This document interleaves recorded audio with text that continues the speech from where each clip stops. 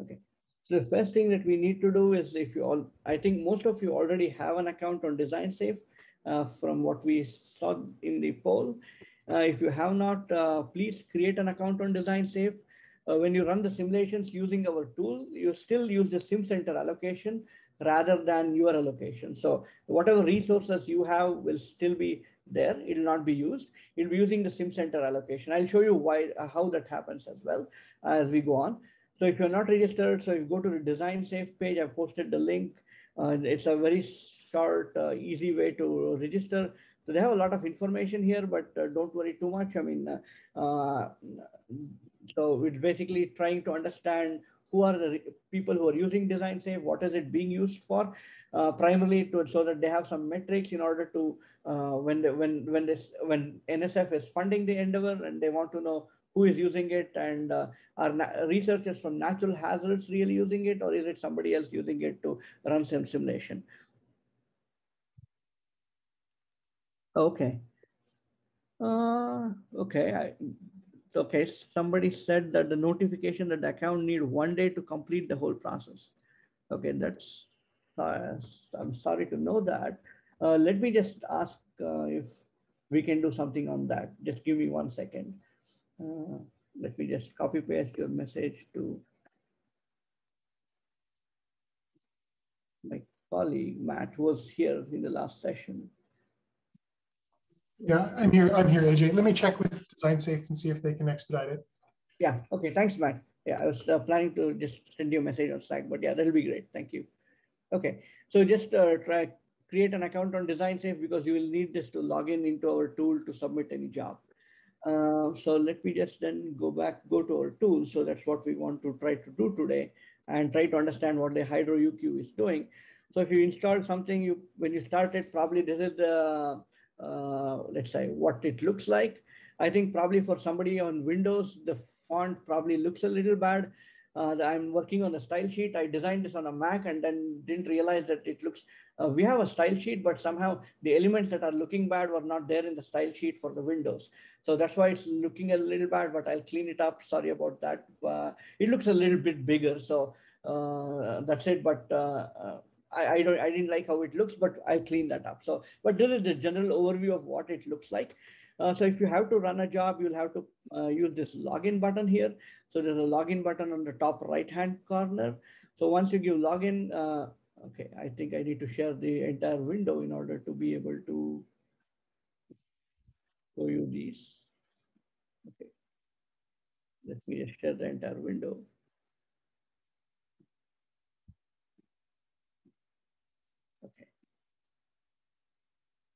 So are you able to see my screen? Please let me know if you're not able to see the screen with has the Hydro UQ window on it.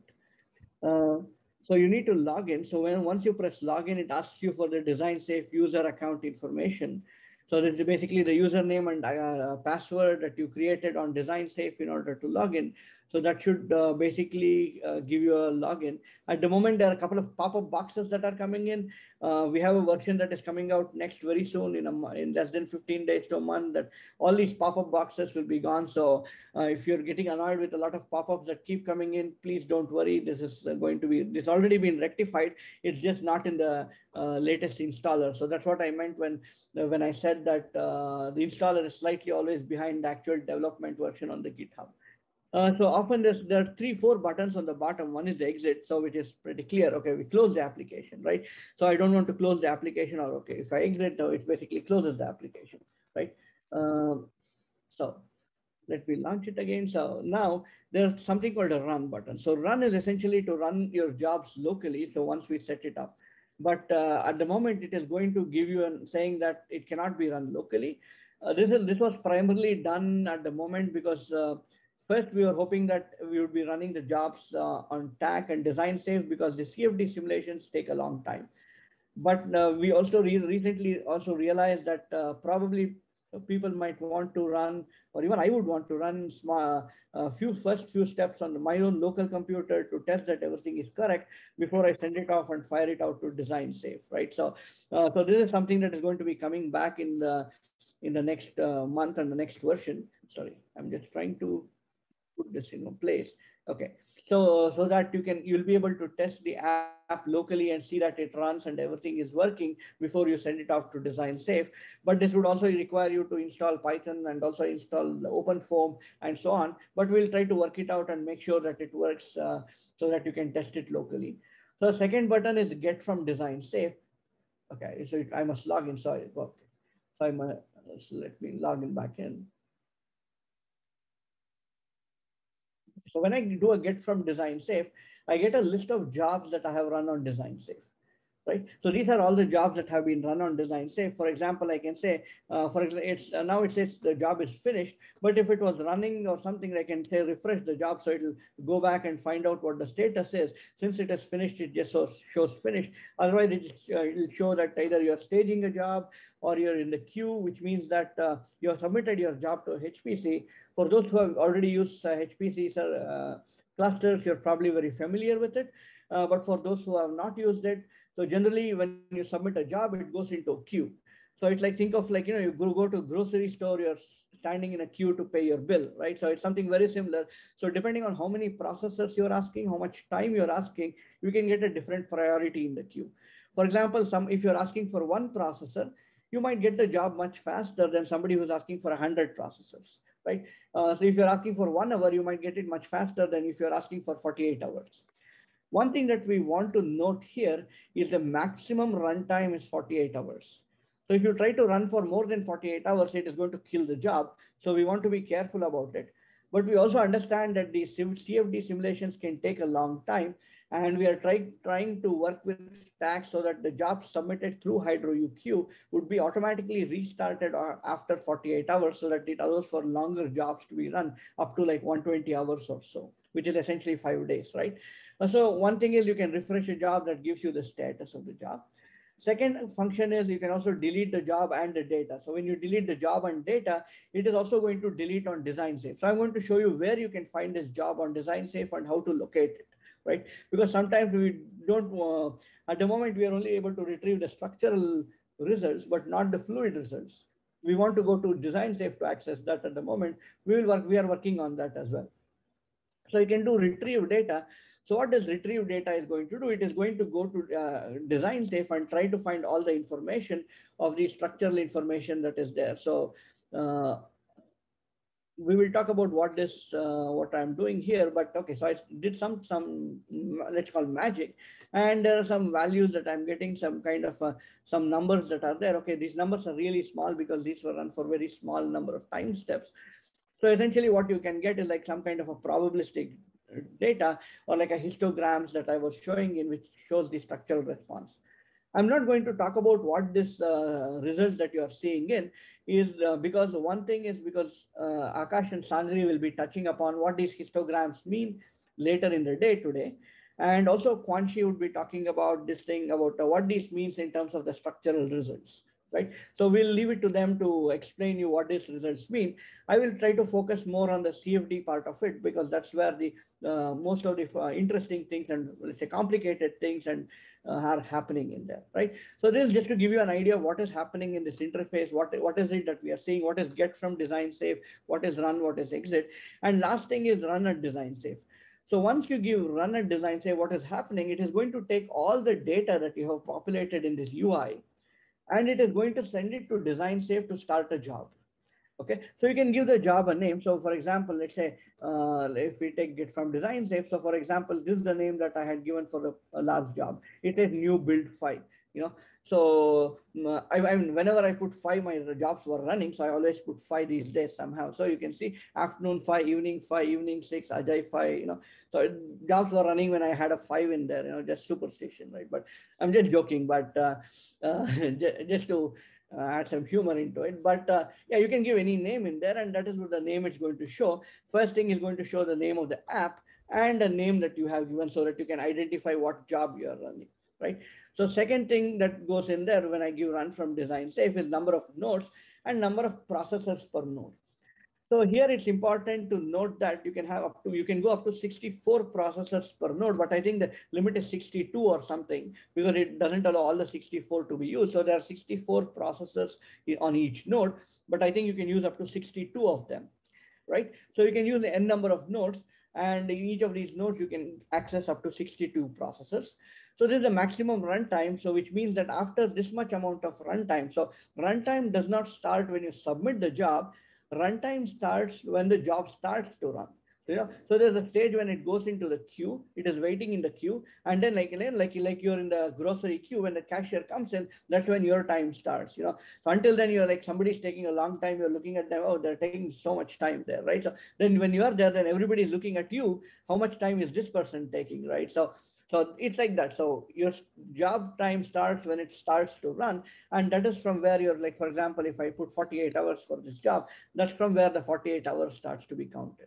So we can use a maximum of 48 hours in order to run this job, uh, run any job. But that would be, that is something a work in progress. We'll try to increase it to 120 hours, uh, try to restart our jobs and so on and so forth.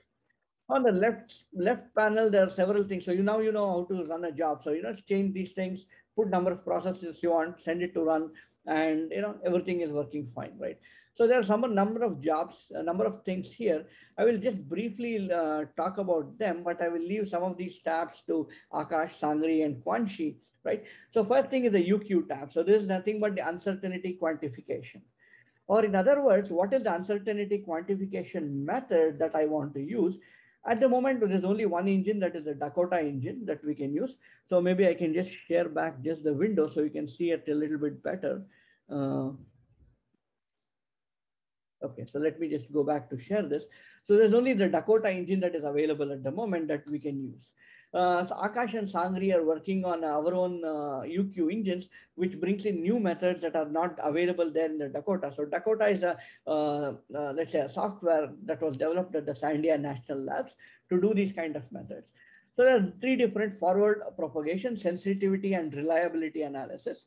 And uh, you can either execute in parallel or in serial and so on and so forth. I think this is something that we will be talking today afternoon. I think the last session, Sangri and Akash will be going into the details, talking about what all these methods are, Monte Carlo, Gaussian process. I mean, I don't know any of them, right? So I'm not the expert on the UQ thing. I barely understand it. So I would, I'm just using whatever they're doing and saying that they, they tell me that this works. So I think, okay, that works, right? So so, but I, I am also interested in understanding what is happening in there. So let's let's wait for them to uh, tell us what is uh, what what this UQ engine is doing and how it is working there. The second tab comes out to be your general information. So this is essentially an info, uh, information about your building.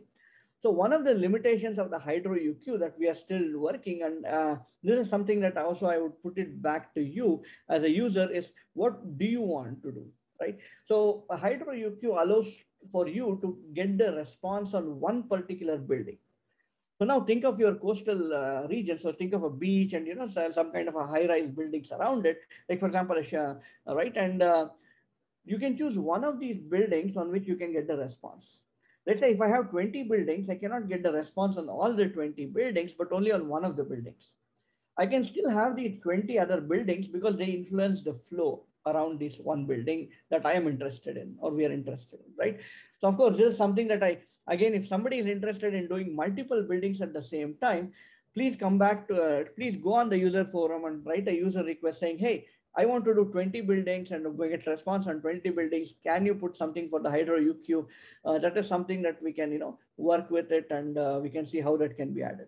But at the moment, you can get response on one of the one building, and but then you can have a lot of other buildings around it. So this GI has the information about this one building that we are interested in and trying to under, get the structural response on. So essentially this has the information about the number of stories in the building, what is the height of this building, so this, uh, for example, you might be wondering, okay, this guy says one meter building. So what's the one meter building with three stories, right? So this this is this was set up for the the one the job that I just pulled in with all the information was set up for a wave flume experiment where we had a scaled down model of the building. So the building is not really one meter, but it's just a scaled down model that we are looking at. So the this, what is the height of this building? So that's the height. Uh, so what is the depth? Depth is often we are considering that in the direction of the flow. Okay, so and what is the width of this building? So width into depth somehow gives you the plan area in a way. And second thing is the location. Where is this building location? So for example, if you're thinking of a bathymetry and if you're thinking of a, uh, let's say, of actual uh, ge geographical location, then we have like a longitude and latitude to locate the building. But we can also be simulating some kind of a experiment in a wave flume where we don't really have a latitude and a longitude for the scale down buildings. We have X and Y. So then essentially latitude and longitude are nothing but X and Y. And uh, so that, that's where you give your X and Y information. Okay, so this is the information about the building on which we are interested in trying to get the structural response. The third tab essentially is the simulation tab. So this is where Kuanshi is going to go in a lot of detail tomorrow, where he's going to talk about the MDOF model, which is probably, if you've taken a dynamics and vibration class, you would have done the single degree of freedom, two degree of freedom, multi degree of freedom as such. So how do you have this multi uh, single degree of freedom or a multi degree of freedom model in there? And so there basically there are different things like floor weights and so on and so forth. Uh, okay, so there's a small bug here that we noticed yesterday that when you load that this is not loading the correct value, but always load the default value, uh, something that we'll be fixing up soon. Uh, or you can just give an OpenSees script. So this is like, this was, a, I felt like this was an enigma for people who might not have used OpenSees. And so I, I asked Kuanshi if we can go into detail on how to prepare this script. So in tomorrow's session, we'll be talk, he'll be talking about how do I prepare the script and what happens in the script and what is there in the script, what is the information that is coming out in the script and so on and so forth. So this is something that we will be talking about later in uh, tomorrow's session. Kuanshi would be addressing this aspect of uh, how, how do you uh, prepare the script and what is going on in the script and so on and so forth. Right. So I'll leave it to him for now.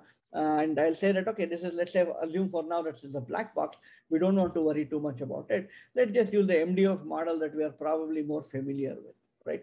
So as soon as you say select MDOF, it automatically populates with a lot of different uh, uh, default information uh, that is there. But again, you as an engineer or uh, who is uh, as a researcher will have to think about what information do I need to give in here? What are the numbers that I need to use? So the nice thing is for example, let's say, for example, we were talking about UQ here, right? So let's say, for example, I'm saying my floor stiffness in the Y direction is some value of 100, right? So what if I don't know this thing, right? You know, I, I say, okay, I don't know my, what my, what is this? Let me say it's a Y, right? And I don't really know it. So what this is going to automatically create is a random variable called Y. So you can select different distributions for this and assign a mean and uh, you know, standard deviation. Let's say 100 for 100, probably a standard deviation of 5 gives you how, it, how the probability distribution looks like. So it is basically going to give you some different distributions that you can probably choose in and uh, uh, maybe log normal, for example, let's say 106 or something like that. So it kind of gives you these distributions that are there. So now instead of saying my y is like a value of 100, I am saying that my y is not a single value, but it has a probabilistic distribution of the, with this mean and variance. Now I'm automatically introducing some uh, some of these uncertainties in my structural model, right? So essentially when I do the simulation now, my structural response is not, okay, there's a deformation of 0.1 meters, but it says, okay, there's a structural deformation of 0.1 meters plus or minus something, or this is the probabilistic distribution of your structural response. So the high probability, what does this mean? There's a high probability of this being, let's say the deformation being 0.1 meters. There's a probably a low probability of this being 0.01 meters, but there's still some probability, maybe 1% chance of it. So that helps us evaluate what's the probability of a, a certain event happening. What's the probability that a building uh, would, uh, let's say, uh, survive a, let's say a tsunami kind of an event or storm surge kind of an event or, or what is a uh, or like some kind of a wall that's not going to go down and things like that right? So that gives us the uncertainty event of it. So uh, I'll, again Kuanshi would be going in Kuanshi and Akash and Sangri would be going into the details so I'll leave it to them but I just wanted to make sure so you have a holistic idea of what is happening here. So the next tab is the finite element tab where we are uh, giving the information about what are the solvers that are coming in there. What solver do you want to use? Do you want to use a Newton-Raphson solver? Do you want to use a, uh, let's say, a, uh, what are, uh, any some other solver and so on and so forth. And I'll, I'll again leave this to Kuanshi, who will be talking about the finite elements and the EDP parameters, the engineering uh, demand parameters, and so on. And already we talked about the RV and the UQ tab, which is Akash and Sangri is going to talk about later in the last session today after lunch. The only last thing that is left out is the research, uh, sorry, uh, results. So as you see, when I said get from design safe and try to get the data from there, we were able to populate these uh, responses here. And again, uh, Akash and Sangri will say, tell you what these results look like and what these mean in a way, right? Uh, so I, will again leave it to them. So essentially, this is the results tab. So we have a UQ tab, which is talking about, which is helping you set up the uncertainty quantification methods. GI tab, general information, which is help, uh, which is basically the information about the building on which we are interested in the response. Now, if you want to have multiple buildings, please go to the forum and let us know about that. And that's kind of, let's say, because NSF says this is what you can do, because based on what we have told them that we will do, NFS, NFS look, NSF looks that, are we doing that? Now, if there's a user request, if there's a user says, hey, this is what I want, I would like to do, can you help me with it? That is our justification to NSF that why we did what we did, uh, which might not already be in our original proposal in a way. So that's the reason why we encourage our users to try to write on the forum and say that, hey, I want to do this thing, you know, right? The third thing is the simulation tab where we are trying to give the model generator, what is the building model, what's kind of, uh, what, uh, how, how do we define this building model and so on. The fourth one, I mean, the fifth one is the finite element. The fourth one is the event. So that's our CFD event. I'll come to that. A finite element, engineering demand parameters, random variables, where we're defining all the random variables, what is the probabilistic distribution of these, and lastly, the results that we are getting, which is uh, probabilistic structural response. So that one building that you put in the general information, what is the structural response that you got of this building? So what is the probability of it, right? Uh, last but never the least, I kept the event for the last because that is where we are going to focus a lot on, right? So one thing that I when I was when I was building, I didn't think about it uh, was that uh, if okay, if somebody if you had just loaded it uh, without me doing the let me let me just exit and come back. So you see how it looks like when i when you just first load it right? So let's let's try to do that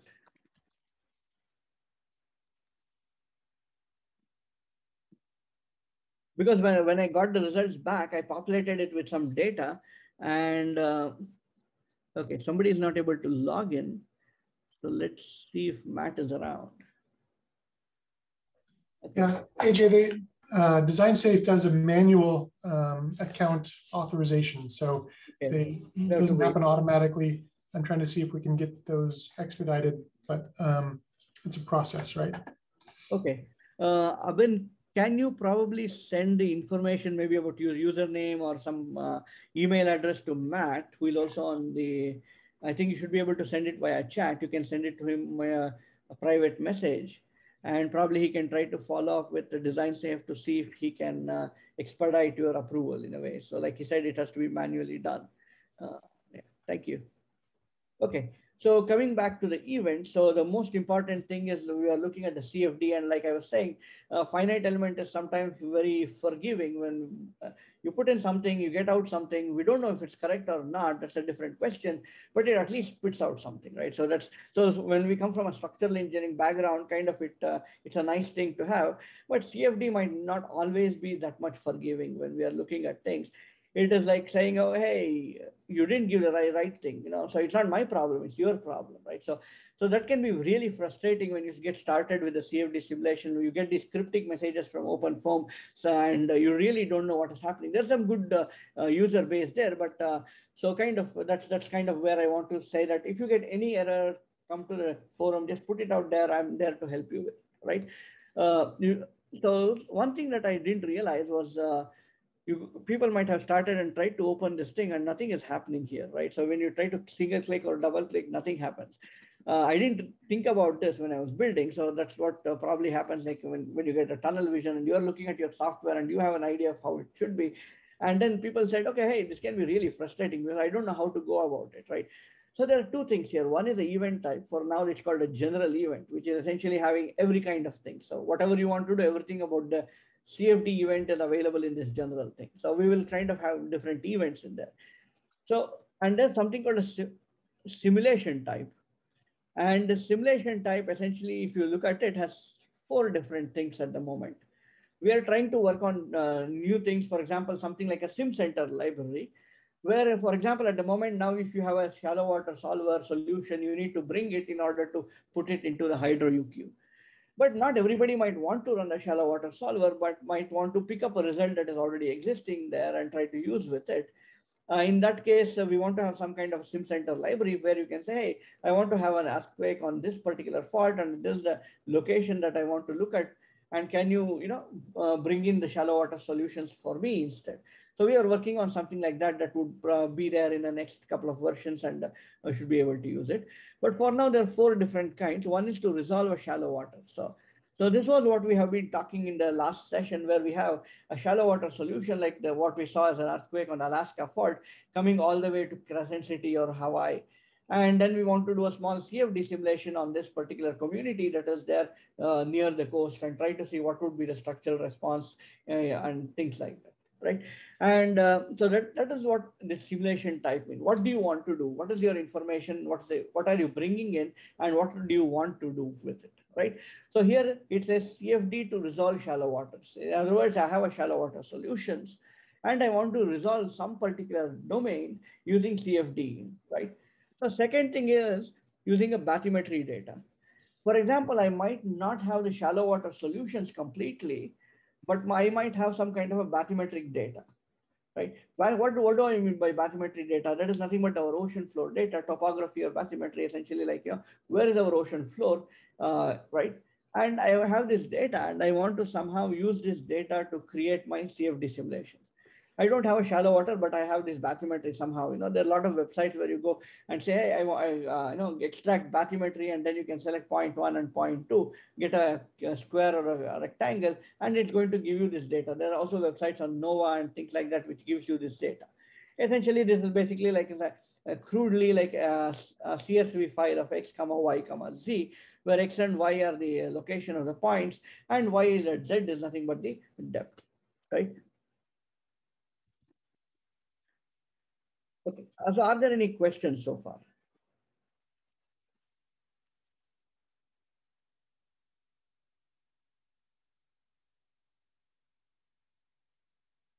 Okay, okay, so uh, hopefully you'll have more questions as we go on.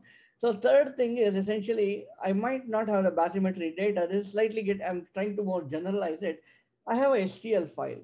So most often CFD softwares like to have STL files or these are something like a, a, triangulated surface, right? And we want to have this STL file and then we want to run a CFD simulation. Somehow I have generated an STL file. For example, one of the things that we will do today, or try to at least do today with the Jupyter Notebook, which I'll leave it to you. If you don't finish, it's like a homework uh, before tomorrow, I'll give you the solutions. I mean, uh, is that try to, uh, to read the shallow water solver solutions and try to create a STL file of the bathymetry and, you know, and a domain, so we can use it to do the simulation. I mean, uh, I'm just having this Jupyter notebooks as an exercise because that is what is happening on the back end of the HydroUQ. So when you bring in a shallow water results, what is HydroUQ doing? I just want to give you a glimpse of it. Uh, so that's what it's doing. It's basically taking your solutions, taking your bathymetry and converting it to some kind of an STL file. And this STL file is used to do the meshing and to set up the CFD simulation, right? And the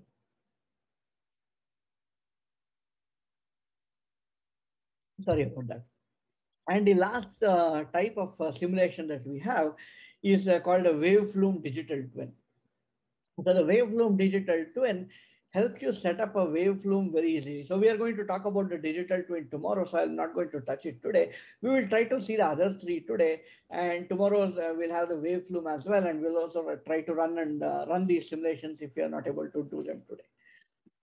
Right. So there are three turbulence models. At the moment for the workshop, I have disabled the K epsilon and K omega SST. And uh, some of you who might be coming from the fluids mechanics background would say, hey, turbulence is an important aspect. How can you just say the flow is laminar? Mean, the flow is not laminar, flow is definitely turbulent. But why have I uh, disabled that is uh, to focus on the keeping it laminar, right? So what we are doing here is a RANS simulation, Reynolds average Navier-Stokes. We're not doing a LES simulation like a large eddy simulation or a DNS simulation. So we are doing a RANS simulation so when we are running these RANS simulation, what happens is we have these wall models. So I, am trying to explain turbulence, which is a, let's say an advanced fluid, advanced uh, graduate course on itself, trying to explain that in uh, two minutes. So mm, probably please excuse me if I'm not 100% technically correct right there. So I'm trying to make it as simple to understand there. So what happens, for example, when you're looking at these uh, flows, you, let's say you have some kind of a wall, which is essentially our bottom surface or our bathymetry. Now a flow is happening over that. I can say that the velocity at the wall of the fluid is zero. It is, let's say it's sticking to this wall. So there's no slip or it's sticking to the wall. So velocity at that point is zero. But then very near to the wall, the velocity continuously changes. There's a lot of turbulence happening there, right? So looking into the turbulence in the hydrodynamics, there's a whole community of fluid mechanicians who are doing that. And uh, uh, that's, that's a completely a topic in itself. Uh, but why am I not uh, giving you the turbulence model for the workshop? But like, let's say, once you go out of the workshop and try to use the actual version, you'll probably get the turbulence model and everything. But uh, to, why we are not using the turbulence model is essentially when you look at OpenFOAM, this is essentially like selecting an option. I select K epsilon and then I'm done. I'm not doing anything else. No other inputs are going in from my side with regard to the turbulence model. And so it is just selecting a particular uh, thing and then leaving it there. So even though it's an important aspect, as long as we start with a reasonable wall model, uh, I think the results should be acceptable, I would say, right? So of course, there are a lot of other things that influence the CFD simulation, like the mesh, the boundary conditions, and so on. And turbulence wall model is one of the things. So very near to this wall, uh, the fluid flow is, uh, let's say, approximated using these wall models. So instead of uh, doing a full 3D DNS simulation, you're approximating them using these small wall models that can be done. So that is the reason why uh, uh, I'm saying that you just select one of these and probably you're done with it. So we'll not focus on that uh, quite uh, extensively. Uh, but if somebody is interested in uh, looking at hydrodynamics turbulence itself, then I'm happy to discuss with you and we can try to see uh, if you if we can include more tur uh, turbulence models that can help your work or we can uh, try to allow for a researcher module where you will say, hey, I bring in my own turbulence model to run it, right? So we can look, into look into these things if you're interested. So it's important to select one of these simulation options before you can access any of the things on the data on the table on the left. For example, now I've selected shallow water to resolve uh, CFD to resolve shallow waters. If I go to the bathymetry, something happened, something changed, right? Something came on the right-hand side. But now if I go and say, hey, choose simulation type, which is basically not selected anything, then how much ever I click on the left side, nothing is going to happen right? So essentially, the, that's that's the, that is why you're probably getting stuck if you've clicked a few times and nothing happened. That is the thing, and uh, that's like you know uh, like a developer's tunnel vision. Like so that that needs to be cleaned up for sure. And I'm also thinking of a better way to put it so that uh, uh users don't have the frustration of clicking and nothing happening in there, right? Uh, but now now you know how to get these things activated. So first thing is the uh, CFD to uh, resolve the shallow waters right? So for example, let's say if you double click, single click on any of these things with the arrow on the left, it is just going to like, you know, pull, pull them down. But uh, double clicking on some of these events will probably change something there that we can, you know, uh, uh, doing. Uh, okay, there, there's something happening in there, right? So let's try to understand what these somethings are, and we will try to see what can what what inputs we need to give in there in order to be able to see do the CFD uh, simulations and set them up in there. Okay. Uh, so first thing is like, for example, the project name and project description. This is primarily for, uh, let's say, our reference when we, um, this project name and the one that you give at runner design safe uh, need not be the same. They're somehow, unfortunately, not yet connected. They need to be connected. Uh, so this is just basically uh, what happens is you will see that everything is generated into a JSON file. So whatever information that you have in this UI goes into a JSON format, JSON. And uh, there you'll have this project name and project description. This has nothing to do more than the value that uh, if you open the file, you'll understand uh, what you have, what you're doing, and what you are trying to do. And it has no more uh, value than that, right? So now let's go to the bathymetry. So bathymetry essentially, so in the geometry, we have three different things. One is our bathymetry. One is our shallow water to CFD interface. And last one is our building. Okay, so we have, uh, uh, so three different things are there. the first thing is the bathymetry. So you can just select the bathymetry and select the different bathymetry files that you already might have. Uh, and okay, it's going to give you an error if you don't select anything or warning at least. And similarly, you can select the CFD solution files. So here it's going to read the first bathymetry file only, so only one file is going to be read. And you can have multiple CFD, uh, multiple solutions that you are selecting in there. So let me just uh, uh, go to our GitHub account just to sh uh, share with you uh, or the GitHub one that I just uh, sent the link.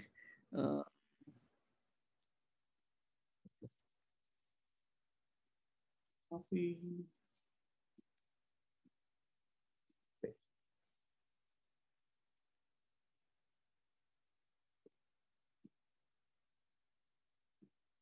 Okay, so this is the GitHub uh, that I shared saying Hydro uh, tool training 01. I just put lab 01 where I've just put all the files. So now if you go to lab 01, you'll be able to find a, a folder called GeoClaw. And there's also uh, Ike uh, 80 frames. So this is a storm surge simulation done by uh, my REU student, Claire, who, who is really smart and doing a lot of these GeoClaw simulations and she's trying to do this like i was saying she's trying to do this compression uh, that can be that almost brings down 2 gb data into 20 mb right? So uh, so she was the one who did these simulations. So i have to give her the credit for it. And uh, so i'm basically so all the 80 frames are available in this zip file.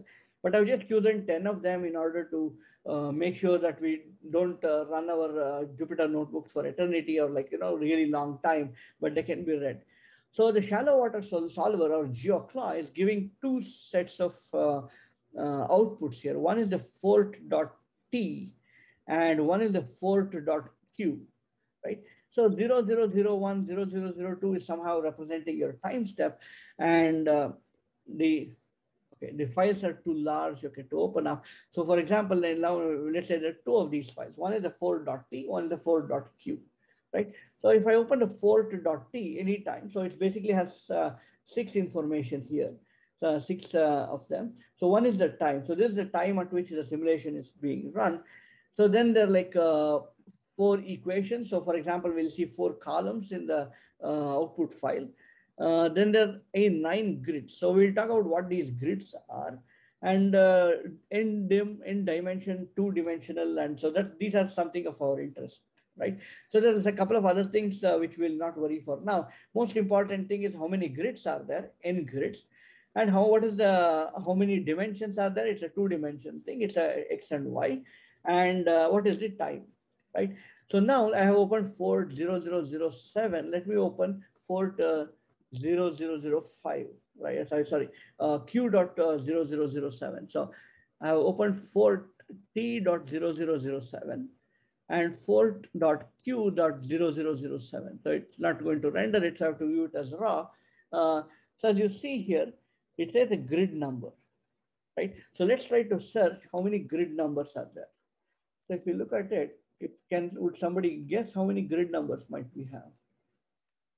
So we have one. So if you look at it, we found nine grid numbers here, right? Two of nine. If I go back to my fort, I see that there are nine grids that are available. So what is GeoClaw doing? If you are, if you remember seeing this video that we had, we had this uh, simulation that was running from Alaska to uh, to the uh, to California and Hawaii. But somewhere near Crescent City, these uh, grids were much, much, much finer than what they were overall, right? So uh, GeoClaw is doing uh, adaptive mesh refinement really nicely so each of these grids represent the smaller uh, refined grids in a way, right? And uh, what are we getting? So essentially here, x low, y low, dx, dy, mx, and my. So what does it say? It says that x low, like for example, let's say if we go to our, uh, uh, let's say, let's go to our documentation. So let's go to the Hydro UQ page. I'm trying to connect the documentation so you are able to find the information wherever, whenever required and uh, try to be able to relate to the uh, material that we already have to the one that we are discussing and what the tool is showing as well, right? So if you look at our grid, so if you think of, if you think of our grid is uh, located in a XYZ, uh, like a nice regular grid. You could see everything was like a nice square uh, that, that was cut into smaller squares and so on, right? So it looked really nice, or smaller rectangles and so on. So here, X low would represent our lowermost point here, right? So that is the point at our, I think, southwest point.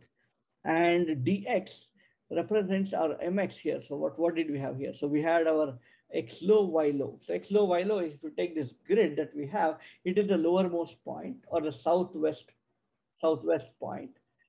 dx is the, uh, let's say the uh, dimension of the cell in the x direction. Dy is the that in the y direction. And mx is how many do we have in the x and how many do we have in the y right? So you eventually we will find here that we have mx into my entries. So we have mx into my entries. So I think if you look at it, so we have, I think 30 entries here.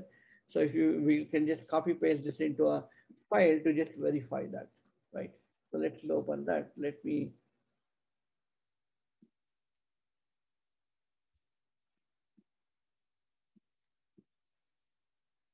let me just share again.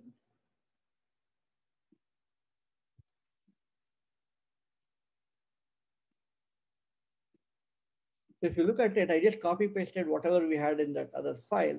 So if you look at it, we had 30 entries here. So from the from our uh, previous file, I just copied one block that was basically said mx is 30. So we have basically it's going along the x direction. So it's basically starting along the x direction from the northwest point. It goes uh, mx number of points, then my number of uh, again like mx then comes to the next level of y mx. Then again comes to the next level of y, mx. So you have my blocks of mx chunks of information. So this is what is available, let's say in our GeoClaw solution. So when we, uh, when we are trying to uh, look at this information and trying to extract something from there. Okay, so yeah, so we're back on this page. Right? So that is what our topography is kind of saying, or there are different kinds of topography available. And uh, so, I mean, this solution has nothing to do with the topography, but also kind of uh, uh, gives you some pictorial descriptions of how the uh, information is arranged in a particular way, right? So, uh, so there are nine grids, as we saw that Fort T says how many grids we have, and Fort Q has the, all the information at all these grids, okay? So different grid levels, so let's say grid number one, grid number two, so there's nine grids up to grid number nine, you can find this information. And we have four columns here, right? So what are, what are these four columns? Uh, can somebody think, guess, give a guess?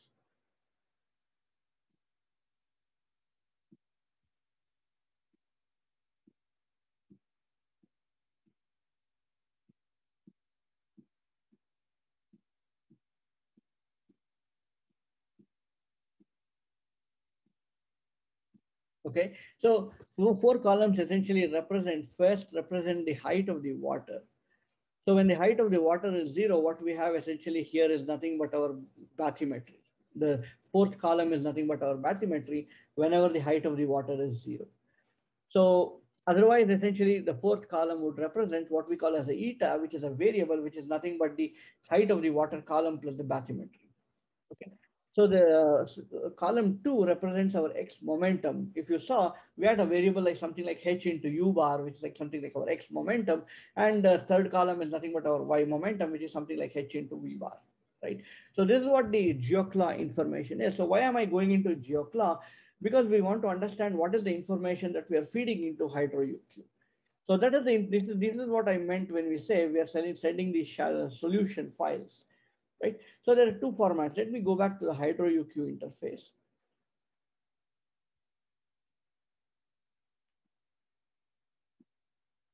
Okay.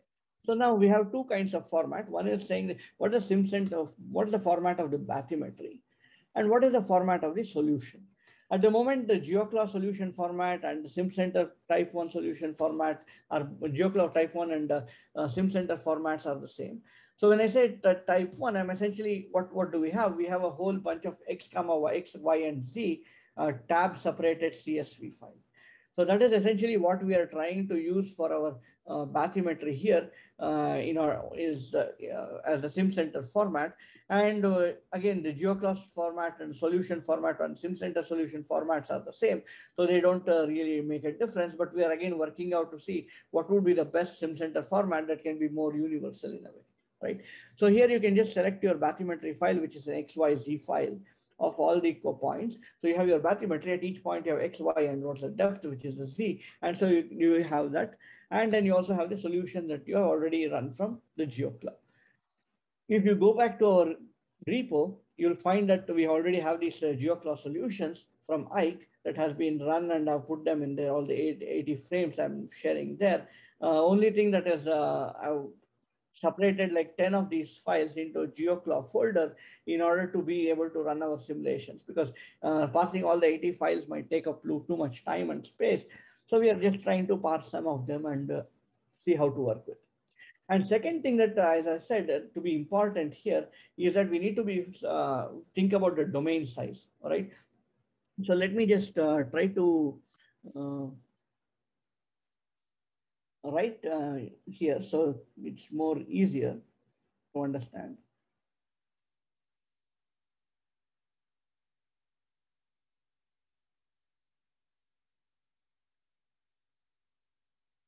Okay. So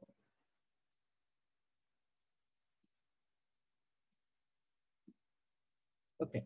So now think of the simple uh, simulation. So now let's say this is our California coast. Somehow I'm, I'm, I'm very, very bad at drawing. So now we had a GeoClaw simulation that uh, ran that with the domain of this particular nature. Now I can take the entire domain and try to run a CFD simulation, but that's probably going to be really, really costly, right? So if I could run a CFD simulation for such a large domain, why do I want to do a, uh, a shallow water solution, right? So because shallow water solution might be much more faster, reasonably accurate enough, and could give me as much information as a CFD on such a large domain. And I can't run a CFD simulation on such a large domain, right? So essentially, I don't want to do the entire uh, domain, but I want to probably take a very small community here, uh, probably uh, which has like some uh, uh, where there could be some high-rise structures or some important critical infrastructure, and I want to look at that, right? So this is my domain of interest that I am interested in, right? And the first thing is we want to somehow define these boundaries, right? So even though this is our shallow water domain, let's say shallow water domain. And uh, let's say this is nothing but our CFD domain.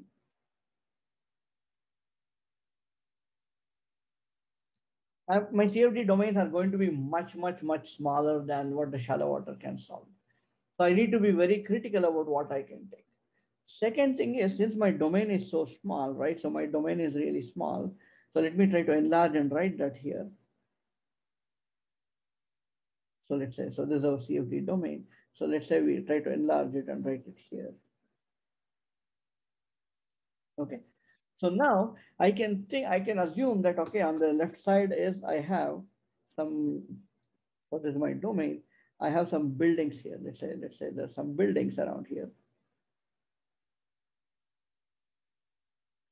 and there's a particular coast somewhere coastline here. So let's say this represents our buildings. And this represents our coastline. And this is our shallow water domain. Right? So now we want to be able to put all of this information in there. But at the same time, like I was saying, you have a wave that is propagating. So let, us assume that our wave is propagating in this particular direction, right? So it's going to propagate in this particular direction. Then that means that it's going to hit this boundary maybe, and then it, it's going to reflect it. Or probably, you know, the wave might even hit this boundary and there's a chances of it being reflected. So how much time could it take for this physical reflection to come back to the original domain from which there's an inlet. Okay. So when we are doing CFD, we are thinking of things like, okay, there's an inlet, there's an outlet, and there's a wall. So three things, uh, uh, three standard things. There's an inlet, there's an outlet, and there's a wall. Right. So what do I mean by a wall? Wall is something that we were discussing where, you know, the velocity of the water is uh, zero. Velocity is zero. Okay. So there's no slip. So there's uh, the fluid at the wall has a zero velocity. So the second thing is an inlet. So inlet, I generally assume there's some velocity of the fluid and it is coming into the domain. And outlet is something I'll assume that it's going outside the domain, you know, so going from inside to the outside of the domain, coming from inside to outside of the domain, right? So sorry, uh, outlet is going from inside to outside and inlet is from outside to inside, right? So this is so just, just like a crude definition of what an inlet and outlet might be. So if we think of this shallow water that is coming in and it we are having like a reflection we need to be sure, let's say crudely to think of it like in a continuum mechanics point of view, let's say this distance was d and I was you know going on a scooter on a bike or something, and I was going with a velocity of u, then the total time that I would need is what something like you know uh, d by u. Right. So to travel this distance, so this is d, so this will probably be 2d. So if crudely thinking of it, if the wave was going at some velocity and coming back, then you this is the maximum time you can simulate. So you have a limitation that you need to think about that relates your domain size to the how much time you can simulate. So for example, we were looking at the uh, times that are there in the GeoClaw simulation, right? So you need to, be, uh, that, that gives you an idea of how many solution files do I need to upload in order to run this simulation right? You can upload a lot of solution files. So we're going to parse through them and everything. But at the end of the day, you might run a CFD simulation for 100 seconds. But if in the 100 seconds you would have 100 reflection, then pretty much everything is wrong that you're getting. You need to think about how much time will it take for it to go to one end and come back to come back, and then how, how do you be able to uh, take care of this. So this is a very critical issue that I want to stress upon to keep in mind uh, when you're trying to do these uh, simulations. Or how much time do I take for it to for the wave to come back? because like I said, you this is an inlet. So shallow water, it's going from the shallow water domain to the CFD domain, but there's no outlet at the same point from a CFD domain into a shallow water domain, right? So generally when you do a two-way coupling, both of these are there and this accounts for the conservation of mass and momentum and things like that. But here it's, uh, since you have a one-way coupling in, you only have fluid coming in from the shallow water to the CFD, but not the other way. This kind of creates a problem that you need to be aware of the um, uh, the sizes of the domain that you are looking at, right? Now, going back at it, so there's a second thing that we are uh, going back, let's say, to our hydro UQ. Sorry that I'm going back and forth between a couple of things. I, I, I did not want to have screenshots on a presentation because that can be super boring and I'm I somehow more prefer to write and then show a presentation and have things marked on them, right? So uh, second thing is the shallow water to CFD interface. So since we said that we want to take our shallow water solutions and we want to refine it, right, and uh, and uh, get a bit get some results at uh, at particular areas with the CFD, we have to define some kind of an interface right? So when we looked at, uh, we said we had this uh, whole big uh, green color thing, and then we defined a small, so a whole white color thing, and then we defined a small green box, which we said is our domain. So that's what we are doing here. So let me just go back to our documentation to show you how to how these uh, files should be. It is super simple and just four lines. So the interface, I, I, we thought about it quite a bit, and at the moment it is only four lines. Of course, there's some bit of uh, uh, uh, let's say, potential for improvement there. Uh, and we need to think about how to do that for sure. Yeah, so if you go to our uh, documentation in the user guide, user guide has basically the information about each of these uh, uh, widgets that we have in the app and what they're doing and what is the information that you need to put in and so on. So if you come to the geometry, you have the shallow water to CFD interface, and there is something that uh, uh, we can see what do what do we need to do. What is the CSV file that we need to put in? So the CSV file just has uh, four lines. Each line has about five entries. Okay, so now we need to somehow say, uh, tell our uh, OpenFOAM what our boundaries are. Okay, sorry, I, I thought I was sharing the screen, sorry. Let me, okay, sorry about that. Uh, I thought I was sharing it somehow. I think it probably dropped. Or, okay, so if you come to the uh, uh SimCenter documentation, in the user manual, there's a hydro events. And in the hydro events, you can find, uh,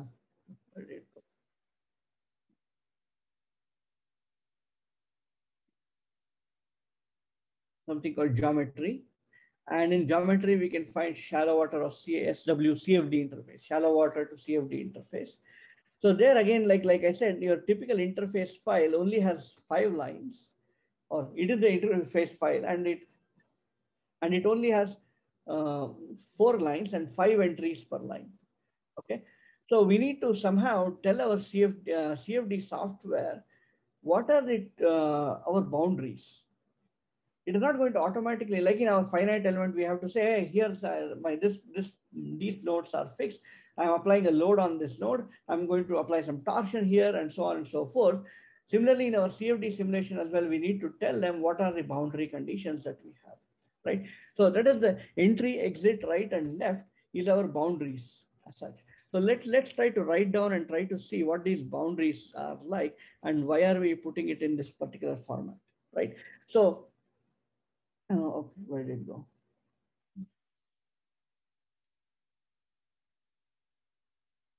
Okay, so now what we have is, let's say we have our domain. So this is our, I'm just trying to put everything into a square uh, just so that it's easy to visualize. And now we have our building here. So let me just color code the building. So this is our building here. So you have a, so there's some flow that is happening. So what are we interested in? So we are interested in what's the flow around the building, right? And we are trying to uh, interested in what is the forces of this flow onto this building, right? So there's also flow separation and turbulence and so on. And what is the force coming on this building? And because of this, what, what is happening here, we can think of this like an external flow. It's a flow around something right? So for example, it can there can be a flow inside a pipe, like an internal flow, or this external flow around a building. So we can define a box around this building. So if I had a box, if I had a building, then I, I can define a box around it. So I can just, uh, let's say if I was to, put it into a three-dimensional sense, I can put it everything into a box, right? So there's a box. Inside this box, there's a building. So it's like a vertical building in the box, right? And uh, now, essentially, I can say one of this is my entry, one of this is my exit. So I have a flow coming in from one side. I call this as entry. I have flow going out from one side. I call it as exit. I mean, it can be anything. You know, you can call, uh, you know, uh, exit as the entry and entry as exit. Nobody cares as long as just we follow a particular convention. Then I have a bottom floor so this is my floor, right? So where I have, let's say this is my ocean floor, I call this as bottom. And then I have my atmosphere here. I call this as top. Okay, so now if I'm standing at the entry and looking towards the exit, then whatever is on the right side, I call it as a right, and what's on the left side, I call it as a left. So what I've done is I've taken my bathymetry, I, that's like a latitude and longitude. I've taken a small domain out of this shallow water. And now I constructed like a 3D piece out of it. Like, you know, like think of it like extruding it. So I have a 3D box around my building of interest or buildings that are there uh, or area around which I want to do my flow simulation. So I'm doing setting up everything in a CFD in a box, right? So now, so when I'm looking at from the entry to the exit, what I have here is basically my right face. And on the other side, I have my left face. I mean, this is just a convention that I have followed in the Hydro UQ just to uh, make it more intuitive that we are looking at looking at the flow in the direction of the flow. And that is the at, at the end I have the exit, at the start I have the entry, on the right I have right, on the left I have left. On the bottom, the floor is the bottom, I call it. On the top atmosphere, I call it top, right? So that is the exact thing that you saw in our interface file. If you saw, if you remember, if you go back to the web page also, you can see that it says entry 1011 exit zero, one, zero, zero, or something like that, right? So what is this saying here? It is saying, now, it is giving, let me, let me say, try to uh, use a different color here, maybe. Let's say, not red, maybe not green, let's say blue, okay? So now our shallow water solver is like a 2D domain, right? So essentially we, we have X and Y only in there. Of course, we have the Z, but we have averaged over the Z. So we have X and Y. So now if I can think of my domain and I can kind of split it into four points, you know, right? So this is my, I have a larger domain as well outside. I have a larger domain as well. But then out of that, I've chosen a smaller domain. I'm trying to uniquely define the smaller domain. And how am I doing this? I'm, do, I'm doing this by choosing a square or a rectangle. So I'm basically trying to cut down all of these bigger, bigger domain into smaller domain, and I'm trying to take bigger squares into smaller squares. So I, I can easily define everything around it, and I can define patches around it. So I'm saying one of these is the entry, one of this is the exit, one of this is right, one of this is left. So now when I say this, let's say these tuples that are there is nothing but the x and the y values of this point right? So this entry has two points, point one and point two. So what is the x uh, two and y two? So there's nothing but our x2 and y2. Let me change to white. And there's nothing but our x1 and y1. So I'm just choosing two points and writing them. Entry has x1, y1, x2, y2. That gives me my one of the interfaces. So I have to define four of them so that I have a square or a rectangle that is complete and that is closed. So that kind of helped me so that I can choose a smaller domain out of the bigger shallow water domain. That is what our CFD, uh, shallow water CFD interface file is doing. So now if I go back to my our manual, I'm trying to connect the manual with the software so that uh, uh, you, you can find a one-to-one -one correspondence between what's happening. If you look at it here, I have defined entry, exit, right, and left and I have four values here. I mean, probably these values have no meaning in this in the here, but uh, uh, just to give you a general idea of that, there are four values that define the x1, y1, x2, y2. Similarly, my exit has x1, y1, x2, y2. So that kind of gives me what are the different uh, values that are there, uh, and how do we define this kind of a smaller domain from this larger CFD domain. So this smaller domain is like, like some uh, uh, buildings in Crescent City in uh, over the larger GeoClaw domain that con considers uh, half of the Pacific, right? So that way I'm kind of really concisely making a smaller part of it, okay? So let's go back to our HydroUQ tool and try to see how, where this kind of fits in, right? So now if we go back to our HydroUQ tool, so you have a simple thing, upload interface files. So this is a simple CSV uh, file that we are uploading and where, okay, so that, that's something funny. Okay, I have to see what that is, but okay. Uh, that that was not the file that I definitely uploaded. I didn't upload anything. I'm wondering why what happened here, but we will I'll look at it. But so just upload. We just need to write this small CSV file that has entry, exit, and the four points for each of these small uh, interface that we are choosing. So HydroUQ is automatically going to take the bathymetry and the shallow water solutions and try to cut everything down and get you the small domain and the, you know, the what are the solutions at this particular domain, right? So next thing is the third thing is the building, right? So first thing is we define the bathymetry, which is our big shallow water or the uh, or our big GeoClaw domain. Second thing is we said, okay, hey, I can't do the big thing with CFD. I need to do a smaller domain. Let me get a smaller domain. How do I say? I define this with uh, like eight, four points and four patches, right? Entry, exit, right and left. Okay. And now, then I said, okay, I need to also have, add my buildings in there. But then the interesting thing here is that uh, you might not, some somebody might say, hey, I don't want to do the building. I just want to look at the fluid flow. I'm, I'm coming from a background on a different thing. I'm just looking at the indentations. I'm looking at, the, I want to look at erosion process and things like that. I don't care about the building. I'm not even going all the way into the coast, into the building, but I just want to you know, look at the coast with a higher fidelity. Then we don't add any buildings at all. So what HydroUQ will do is it's going to completely ignore the uh, GI information and it's just going to do the fluid simulation. So in a, let's say in a crude way, HydroUQ becomes like a front-end processor for your OpenFOAM simulation, right? It doesn't do the OpenSees, it doesn't do the Dakota, it just does the OpenFOAM. But of course, if we say that, hey, no, we want to add in building because that's of interest to us, we are looking at these critical infrastructure, I'm looking at the high-rise evacuation structures, I can add buildings here. So there are two ways that the buildings can be added. One is either manually, I can go into the table and try to put something in there. We'll make this table a little bit better uh, in the next version. Again, like, like I said, again, always it's a work in progress. There's always new ideas. As you give in new ideas, we'll try to keep implementing them. Or I can say I want to parameterize the building you know, I want to go and put in there like number of buildings along the coast, into the coast, what's the distance of the first building from the coast, what is the distance between these buildings on the side, what is the distance in one behind the other, what is the size of this building, and what is the coordinate of this coastline center, you know. So I can kind of give a parameter, I say I, can, I want to create a 10 by 10 building array, and then I'm also able to automatically Hydro UQ will create this for you.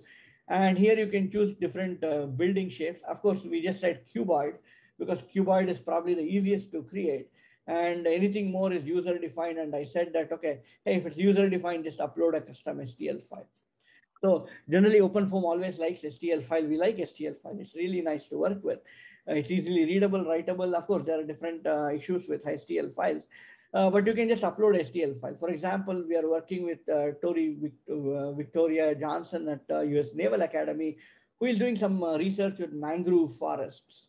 So building for her would be a mangrove forest. Like, you know, one mangrove tree is a building for her. So this is a complicated, if you think of a mangrove tree, it's a very complicated shape. So we have an STL file that defines this complicated shape and just put in there, I want to have 10 by 10 mangrove trees and automatically HydroUQ does this for you.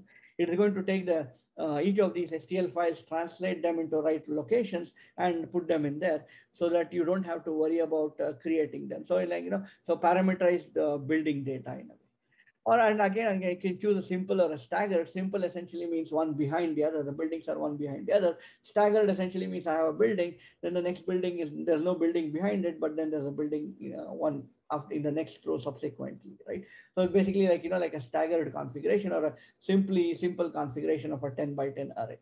So, I mean, uh, of course, if you're interested in different kinds of distributions, then please let us know and I'm happy to add them. So we can just uh, kind of create different distribution of buildings so you can do an entire array. But again, like I said, the biggest uh, trick here is it does only one building on which you can get the response. So what is it going to do here, for example, is that it's going to try to find the nearest building that you have defined in the GI. So in the GI, you have given some coordinate of latitude and longitude, and it is going to try to find what is the nearest building in this array of, let's say, 10 by 10, that is nearest to this latitude and longitude, and it's going to assign that as the response building, right? So you, we need to be careful in what information we are giving here so that we get the right response building. But HydroUQ just automatically searches this for you so that you don't have to uh, go and mark it out yourself. Uh, on the contrary, you can also add the building in a manual manner. So when you add it in a manual manner, I can say like add building or remove building here. So I select it and I can remove building. Uh, I thought uh, uh when, when I was building, it looked fun, but then when, when I was using, then I realized it's super cumbersome to use. Uh, that's again, like I said, right? So when you're developing, you feel this is a fantastic thing, and then you start to find faults in it. So that's that's why I feel it's a good thing to find faults in it. It always helps it make better. So if you go to the manual, there are uh, four kinds of buildings that are at the moment allocated. So this is something again uh, uh, that needs to be changed, that, that will be updated as we go on to make it more user friendly for you. So let's go back to the manual here again. So now if I go to the manual, uh, let's me take. So if we go to again the geometry, the buildings of specimens. So again, it basically explains all of these things. So there are four building types. So minus two, minus one, one and two. So they're building codes. I think we'll replace this by a drop down menu or something that makes it easier for you to select these building types. So anything less than zero is uh, saying that I want to have a building on which this is the building on which I want to get the response. And anything greater than zero is like all the other buildings around your building of interest. Okay. So when, when I say uh, plus one, uh, and one thing important to note here is that it only supports uh, one building on which you can get the response, right? So if you add multiple buildings with like minus one or minus two uh, as a type, then it is going to give you an error saying that, hey, you've defined too many buildings on which you want response. You're asking for too much, right? So go to user forum and tell the developer to add it in there. I don't have it in there, right?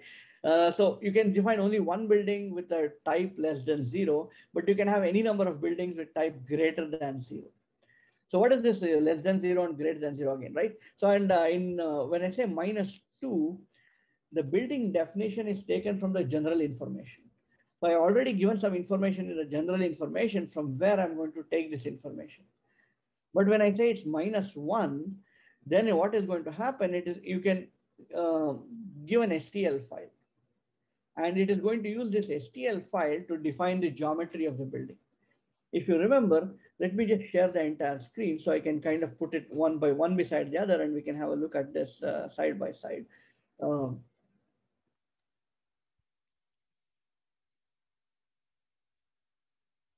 Okay, where did my share button go? Okay.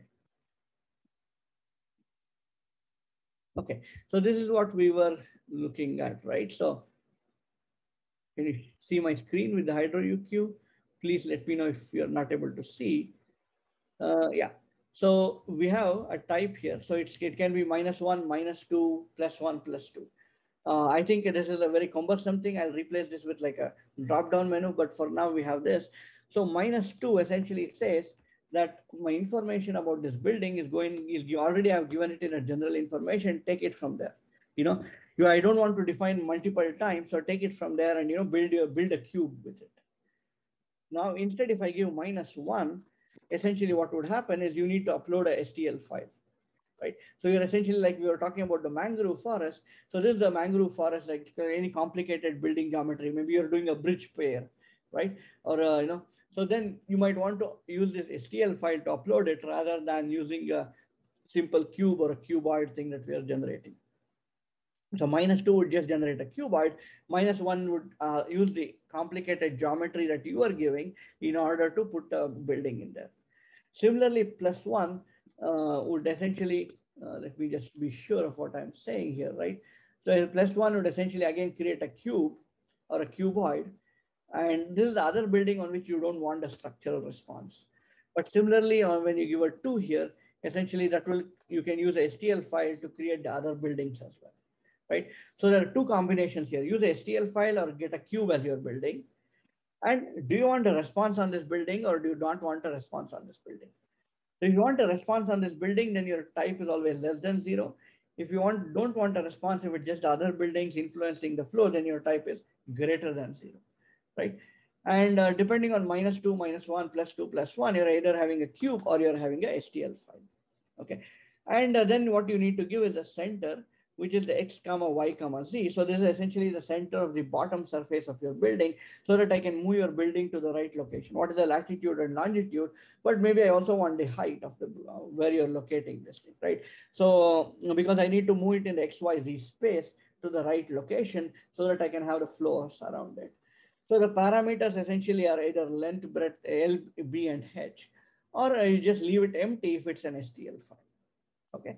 So, and then essentially what we have, uh, once we have defined the buildings, so that is uh, essentially the uh, entire geometric definition we have. So we have defined what the bathymetry is. So we have defined the ocean floor. So automatically what it is going to, Hydro UQ is going to do, it is going to create your box with the floor as the ocean, uh, with the bottom as your ocean floor.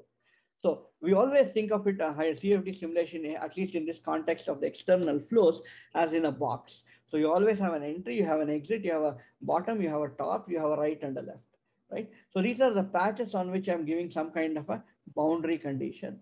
And essentially, uh, you're just defining the bottom surface but Hydro UQ does the rest of it to fit you the all the other patches as well. Automatically gives you the uh, closed STL file with everything else. Okay. The second thing is the uh, interface, which we basically took a big GeoClaw domain and made it into a smaller domain. Lastly, we have some buildings in here, which we are basically adding under, around which we want to get the structural response. Okay. So next thing is essentially we once we have defined our uh, uh, geometry, we want to do a meshing. So there are three kinds of meshing available here. One is the hydro UQ mesher. So this is nothing but a, a simple uh, meshing that we uh, do. And uh, this is, let's say, something that is particularly mostly for beginners who are just starting out in there, rather than somebody who's more advanced uh, such. So if you're more advanced, you might want to use some kind of a external uh, pre-processing software because there are already a lot of these tools that are available that, that are really well developed and kind of developing this thing again from scratch not, doesn't make much sense. But you can use Fluent or Gambit or Gmsh and do a mesh. And what we'll do is we automatically will convert this into an open OpenFOAM mesh format. So you just have to select, let's say Fluent and upload the Fluent files and it will automatically convert it into open OpenFOAM mesh whenever it is required. Right. So whenever we do a mesh, we'll not do the our meshing, but we'll basically use this in order to create the open OpenFOAM mesh. Alternatively, there's something called a um, OpenFOAM solve um, mesh dictionary. So this is called a block mesh dict and the snappy hex mesh dict. So you can either use, you can upload both, either one or both of these mesh dictionaries. And what we will do is we will basically use these mesh dictionaries in order to do the meshing. So for example, when you specify a hydro UQ mesher, depending on the fineness and the regional refinements, what you are doing is you're essentially, um, the hydro UQ is going to create a mesh dictionary that we use with OpenFOAM to create these uh, meshes. But if you have your own mesh dictionary, then you can directly use that right? So rest of the things are, uh, I think we probably have uh, running out of time, uh, but we'll try to finish everything in detail at least today so that we can run these things tomorrow. So last thing is the material. So we have a air and a water and we have a surface interaction between them.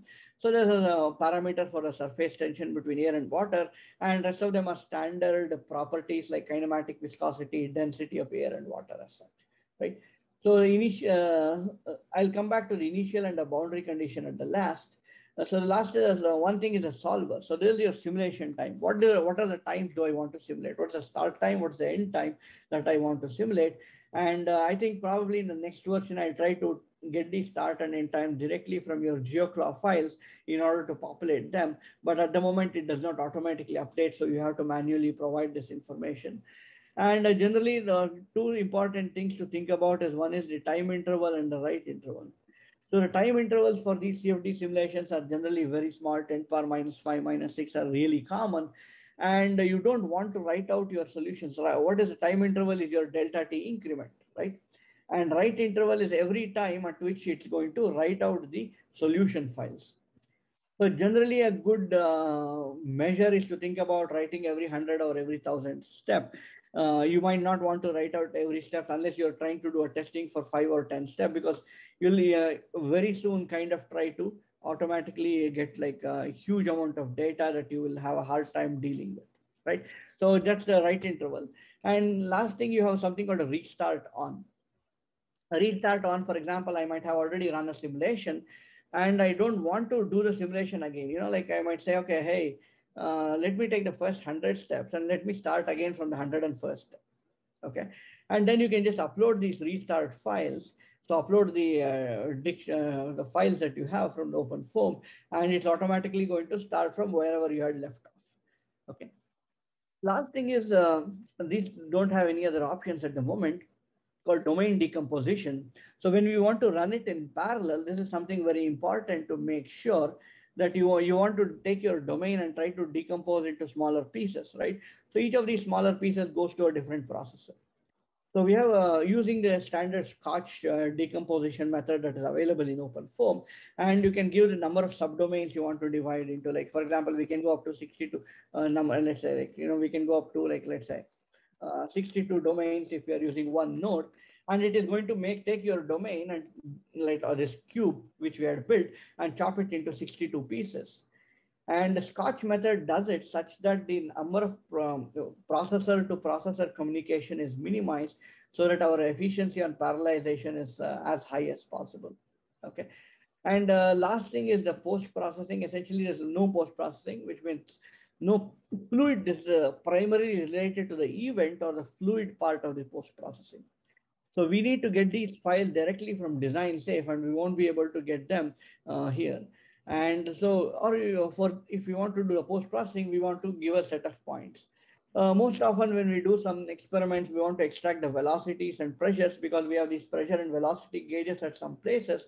And we can just upload a CSV file of the points at which we want to extract this velocity and pressure. And HydroUQ will automatically uh, uh, get these things and put it out for you so you can work with it. Right. So the last two things are in the initial phase and the boundary conditions is something that we have left off. We have not yet prescribed in here. So when you use a shallow water solver, automatically the initial condition is specified. Here, initial condition for a phase is essentially saying, where is my water, right? I have this big box with both air and water.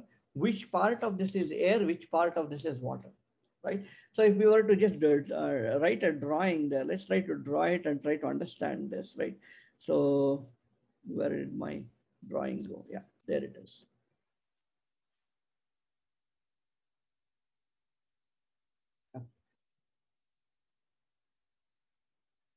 I don't have face ID. So, okay. So yeah, there it is now. So now let's try to see initial conditions. So, right. So we have this big box in here. So, uh, right. So let me try to draw a wave flume of a 2D wave. So let's say I'm drawing a 2D dimensions. Now let's say I have some buildings in here. And now I want to say, where is my water and where is my air? Because the CFD does uh, software only knows there's a mesh it knows that we have air and water and you know these are the properties but it doesn't still know where is the water initially right? So now maybe maybe i want to just fill this uh, up to here with water right? So maybe let's say uh, i can't fill up to here maybe that's too much. So let's say i want to fill this part with water. So what am i going to do is i'm going to specify right a box let's say i'm going to specify a box in which it is going to fill this with water right? So same thing, I'm just going to extend in the third direction as well. So it's going to fill this box with water. This box need not completely conform to the geometry that we have, but we can uh, uh, kind of say, say, so we have to give a point one, which is the lowermost point, and a point two, which is the uppermost point. So this is basically we give the x1, y1, z1, and x2, y2, and z2. Once we're able to give these two points, it's automatically going to define a box and say this box contains water. So eh, what it's going to do is like, let's say we had this, uh, our uh, domain was basically split into a mesh, right? So what it's going to do is basically here, it says is air. So it's going to define an alpha value of zero. So alpha represents somehow how much water and how much air is there. So now let's say this cell has only water it's going to define a value of one. Now, maybe this intermediate cell here, let's say if you look at it, maybe you know, there's some water, some air, and some water, right? So it's going to use a volume of fraction method is what we are using. We are using a volume of fraction method.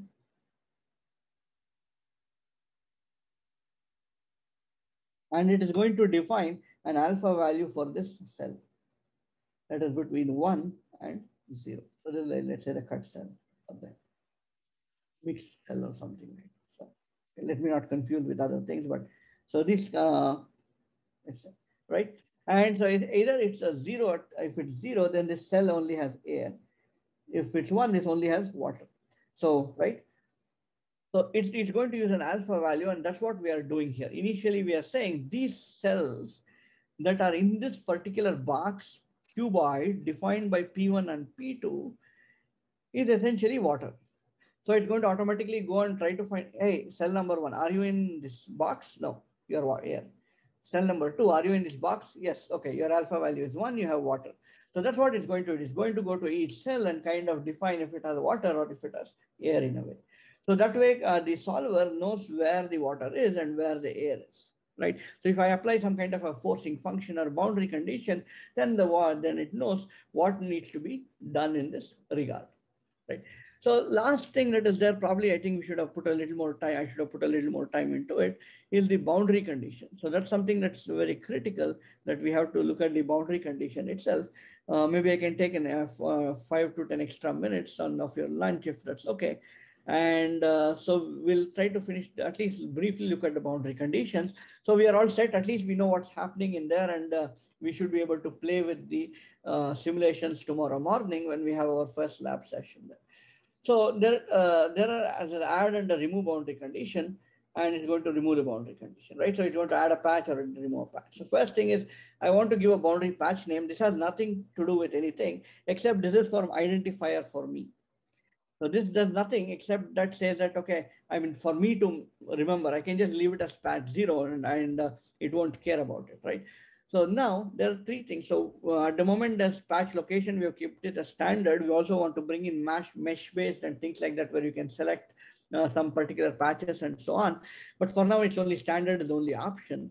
So then you have six of these. Now, if you remember, we were talking about this. We said exit, entry, exit, right and left right? So entry is where I'm standing from where the fluid is flowing in. Exit is where it's going out.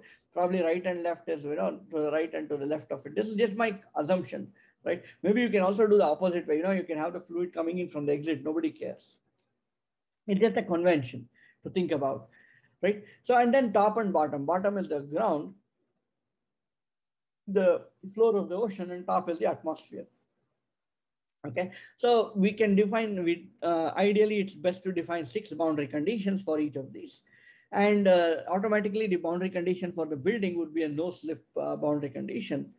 So that uh, several boundary condition, one is the general shallow water solutions. So now if you try to uh, say that I want my simulation type needs to be a shallow water uh, CFD, let's say resolution of a shallow water thing, and you don't select any boundary that has a shallow water solutions as your boundary condition, it is going to give you an error. So you have to have at least one boundary that has a shallow water solution as a boundary condition. And uh, other second, other things are the three kinds of inlets. One is a constant velocity. So where you can say, okay, there's a velocity is constant, uh, constant velocity input. Or you can say that there's a moving wall OSU flume or a general flume. So what is the difference between OSU flume and a general flume? But we'll try to uh, talk about this boundary condition tomorrow morning in the session. That's where we have the wave flume thing. So there are two types of input condition that are required for the flume. And that is what we'll be talking about tomorrow. And uh, there are other velocity boundary condition like zero gradient or inlet outlet and a wall slip. So when, whenever you're in doubt, leave it as a zero gradient always is a good thing, or inlet outlet is always a good thing for an outlet. Uh, wall slip, essentially no slip says that it's like a wall where the velocity at the wall is zero. Essentially, that, that's the kind of boundary condition you're putting in there. Uh, there are two, uh, for example, when we are doing structural mechanics, there are, we are solving primarily for uh, displacements. So when you look at your finite element solver in a, with a structural mechanics context, you applied, you get displacements. But here we are solving primarily for uh, uh, velocities and pressure. And so uh, one of the, oh, sorry, there was a question, I kind of missed it. Yeah, is there an option to extract forces in addition to velocities and pressure? Yeah, I'll come to that uh, uh, before the end of the uh, lecture. So, sorry about that. Uh, yes, there's, there's an option and that's what exactly OpenFOAM is doing. Uh, that's what HydroUQ is doing, essentially to say. Uh, so there are two, um, uh, let's say, two um, variables. One is the velocity and one is the pressure. We are solving for these. And uh, we need to not just specify the velocities. Like, for example, what are we doing? We are essentially solving a partial differential equation, which is nothing but Navier-Stokes equation, right? So we need to give some initial conditions and some boundary conditions for the unknown variables. So uh, we have given a velocity, but what about the pressure? So generally, I have put it something called a default choice, this is like a safe option for especially if you're a beginner and you know you don't know what to choose there then it's a safe option what HydroUQ does is depending on your kind of velocity boundary condition that you're doing and the kind of simulation you're doing, it's not any AI, but it's just a set of if-else conditions. It will choose some particular pressure um, boundary condition that I think will probably work well. I mean, I'm not saying that it's going, it's a perfect boundary condition, but I think that it's probably not going to let it crash at least, right? Mean, uh, you will not get a cryptic uh, crash message. And that's that's what I'm trying to do here, trying to set a appropriate pressure boundary condition that might be suitable for these kind of velocity boundary conditions that, uh, that are there. So essentially, uh, if you if you do not know what you need to do, just leave it as a default choice. Or for example, there's a zero gradient or like a fixed value, which is essentially saying it's a particular value. Now, uh, if you would like to add more boundary conditions in there, again, come back to the forum and just write there or come back to the office hours and say, hey, I'm trying to do this kind of a work and I would like to see if this can be added in there. And this is no time. We can easily add a lot of them in there. Like uh, it, it takes no time to add these things to it, right? So generally you need to define six of the boundary condition, at least for all the six patches. So every time, let's say, for example, okay, I add a, any patch. Now I select this as entry. Now I add a next patch, then I have to select the next one maybe may not be exit, but could be a top. You know? So we need to at least define six boundary conditions for the six patches so that CFD simulation can run uh, reasonably seamlessly. Okay, uh, so I think we are pretty much, I'm already uh, ahead of time. I mean, already taken like five, six minutes extra there, but uh, yeah. So just to address the last, um, so this is essentially like entire workflow of the um, CFD simulation. So what we will be doing tomorrow in the first class is also to look at the bathymetry, particularly for the wave flume. Uh, for example, many of you might be using a wave flume facility to do some experiments in there. Need not necessarily be the Oregon wave flume, but you might have your own wave flume in your university, or you might be using it somewhere else, have some collaborations and so on. And that's where the digital wave flume comes into a very nice thing where you can define the bathymetry. Uh, for example, if you would like to add your own wave flume, let me know and I would be happy to help you with it. For example, let's say there's a standard OSU wave flume. You select it, done. You don't have to do anything else. You don't have to uh, talk anything about the uh, geometry, except for example, you probably have to give your building data because you are you want to be have you want to know where to keep the building data, but you can just select OSU flume and this helps you to design these experiments before you actually go into the experimental facility and try to use them. Because it takes several, it takes uh, several weeks of setup to get an experiment set up uh, instead, you can run these simulations and try to have an idea. Okay, yeah, maybe I want to do this thing. I don't want to do this thing, and you get you, you design your experiments very intelligently by using this without much of an effort. So, for example, you can use a standard OSU flume, and all you need to give is a boundary condition here and say, hey, I want to use a OSU flume. Okay, or I want to use a, a general flume boundary condition and then there are two uh, inputs that are coming into it. We will talk about in detail what these inputs are and what the files look like. And uh, for example, this file for the OSU Flume is something that you get from the experimental facility. So when you run an experiment, these are files that they generate and you just bring them close your eyes and just put into HydroUQ. HydroUQ parses it and does all the rest of the setup, sets up the boundary condition for you so that you don't have to worry about it. So we will talk about this and what format it is in in tomorrow's uh, class or tomorrow's lecture, and we'll try to run some simulations as well. Uh, with that, I would, I think I would try like to, I would uh, close this session here. Uh, so if somebody is interested, if they have any questions, I'm very happy to answer. I think there was one question, is there an option to extract forces, right? So before I leave, I will probably show you this thing as well. So let's let's try to see how to, what's happening here, right? So let me just share the entire screen so I can show you uh, two things. Um, please bear with me for a couple more minutes and uh, I'm, I'm, happy to answer any questions as well. Uh, if you have a question, please put in chat or just uh, unmute yourself to ask. And so here, essentially, let's say when I say uh, post-processing, this is essentially the post-processing for the fluid part only. Now, when you're talking about forces, you want to get these forces on your particular buildings. So if you define a building of interest, or let's say you can just define a wall there, right? So then these, this is where we, we, we're extracting the forces. So now let's say, I, how do I get this data, right? So one thing is I go to get from DesignSafe. Oh, sorry, I must log in. I didn't log in. again. Okay, let me log in here. In the meantime, I can go to DesignSafe. Okay, I'm logged in. So let me say get from DesignSafe. So now this was something that I ran yesterday night. I mean, I was just trying to play with it. Like you see, see, I have all these files at the end of it because whenever I added a fight, it was working. When I didn't add a fight, it didn't work. You know, I mean, I mean, I did a mistake. So not, nothing to do with the fight. I mean, just just trying to.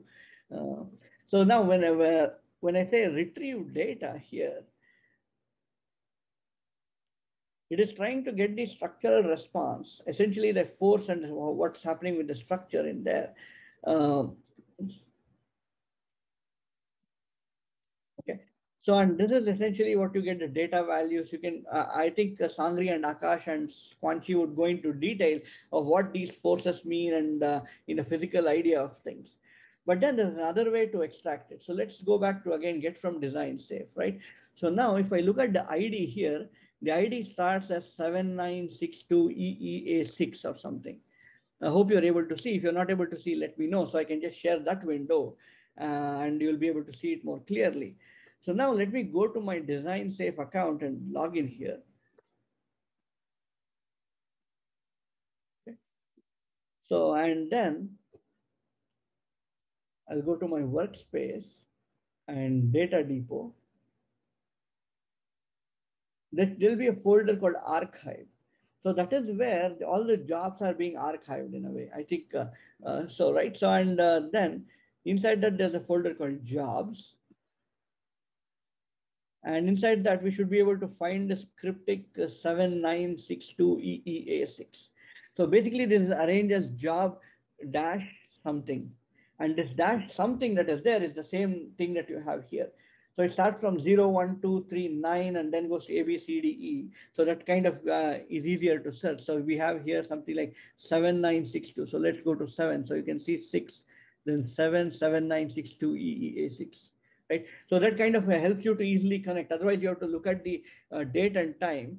And unfortunately, uh, very weirdly, uh, DesignSafe does not allow you to arrange your files or rearrange or sort your files by date and time which is a really weird thing. So this kind of helps you to really find what you're uh, running easily. So let me open this file. So HydroUQ has uh, uh, uh, uh generated these files. Anything related to the OpenSees. So we said that what HydroUQ is doing, you have run these simulations on this patch called buildings, which is essentially the building of interest for us. We'll talk about this tomorrow on a patch called building because I wanted Kuanshi and I mean Akash to introduce the UQ before I go into it.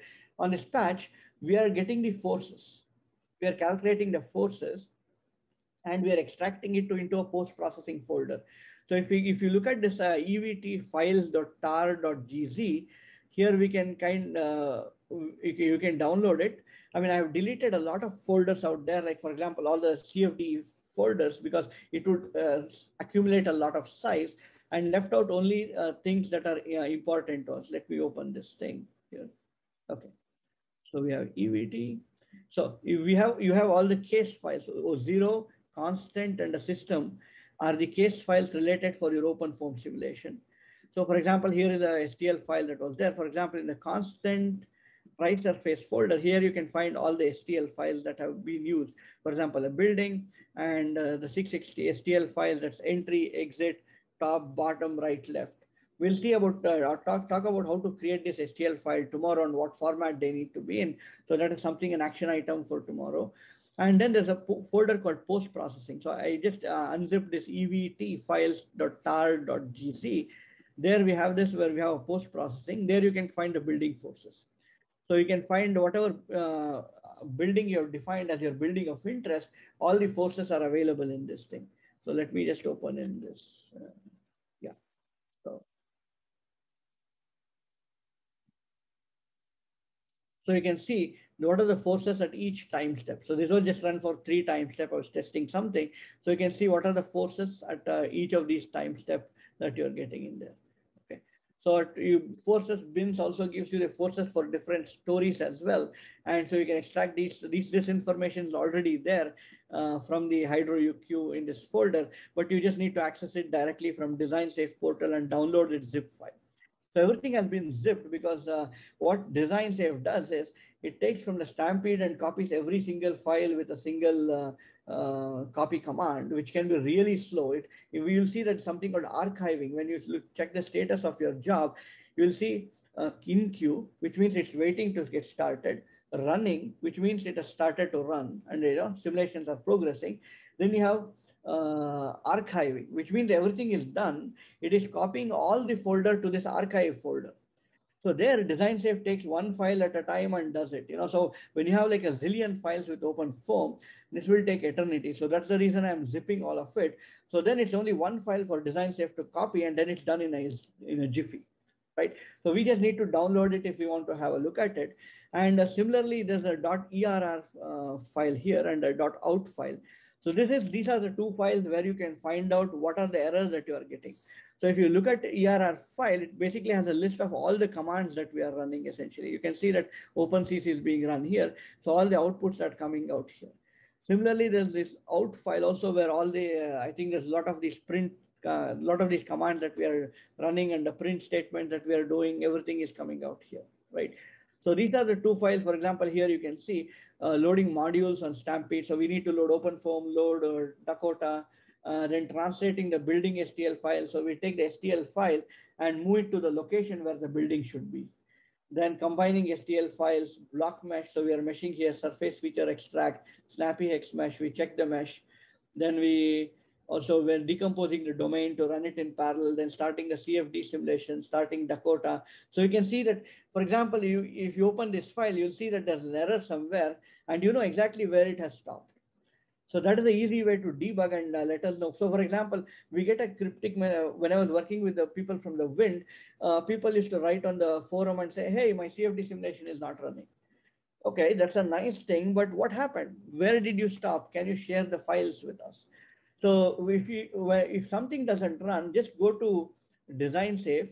And if you can share these files with us, that would be really, really helpful to help you because we want to help you we don't want to go back and forth, get me this file, get me that file and frustrate you.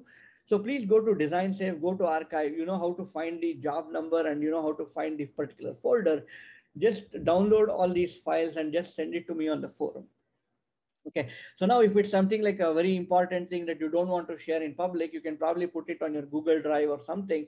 Just give me a share permission, you know, to look at it for now, and then you can always remove this permission later once I have looked at this file, so that uh, you know we don't we we don't want you to share something confidential in the in the public domain as well. So unless you if, you if you share these files, it's easier for us to debug and understand what error is there and how do we uh, get stuff from there. So that's how you can extract the pressure and velocity, pressure and uh, sorry, extract the forces. It's already there, and you can easily look at it. So if you look at this TIM, uh, TMP folder, this essentially has all the uh, dakota.json. So this was what I was saying. So this is essentially nothing but your input file. So today we never talked about how do I read an input file into HydroUQ. There's something called open and save. We never talked about that. So we'll try to do that tomorrow morning. So this is essentially whatever was there in our UI, whatever we chose there is put into this Dakota format. Uh, from where you know uh, uh, Stampede is and uh, is reading and trying to run your simulations as well. So everything else comes out also in this folder. There are a lot of other files that are subsequently uh, written and done in there. Okay, so that, that's one way to access your folders and uh, see what is happening in your CFD simulations and uh, uh, try to get some idea of it. Uh, but if you have any other questions, I'm more than happy to answer. I can stay back and uh, uh, happy to help you with it.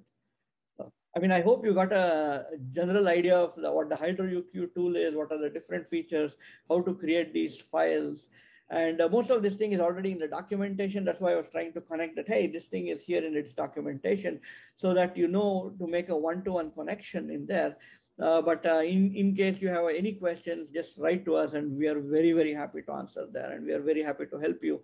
Uh, we don't want you to get stuck for 24 hours or something. We'll try to uh, give as quick a response. Probably if, if we needed us, we'll have a Zoom call and help you with it, right? So